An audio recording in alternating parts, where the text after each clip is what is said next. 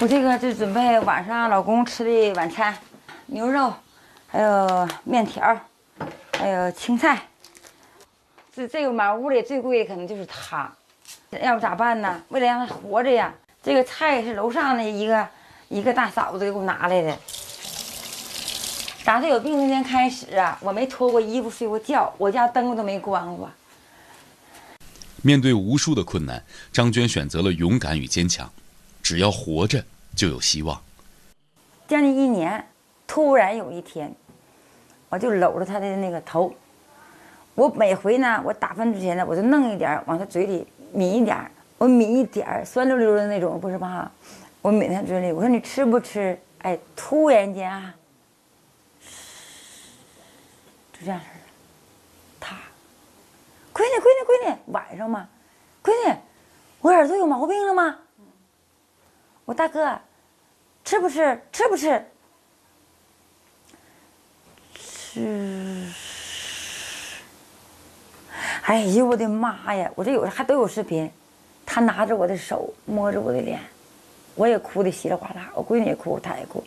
看看他那个手，始终在摸着我的脸，心里边也是明白了，你看好像感激我的那意思，你看出了吗？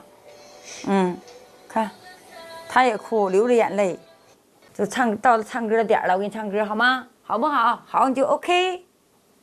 高举，好嘞。你最喜欢邓丽君的歌曲，对不对？对就闭眼睛。哎，好嘞。如果没有遇见你，我将会死在哪里？日子过得怎么样？人生是否要珍惜？也许认识某一人，过着平凡的日子。他选择我那一刹那，永远在我头脑里回旋，换位思考。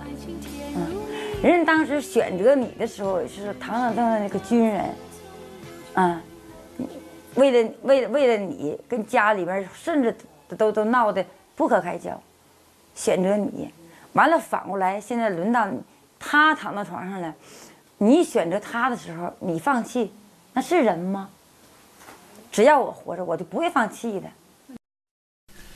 很多人都被张娟和朱都是平凡而普通的人，却让我们肃然起敬。